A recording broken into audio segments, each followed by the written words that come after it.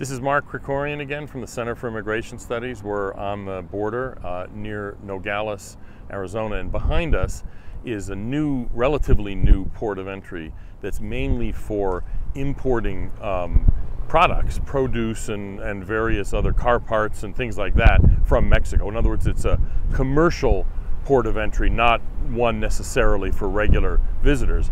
And uh, you know, this uh, produce is uh, very important coming through Nogales. Um, it, Nogales is one of the top two crossing points for Mexican fruits and vegetables being imported into the United States. And Mexico is increasingly an important source of fruits and vegetables.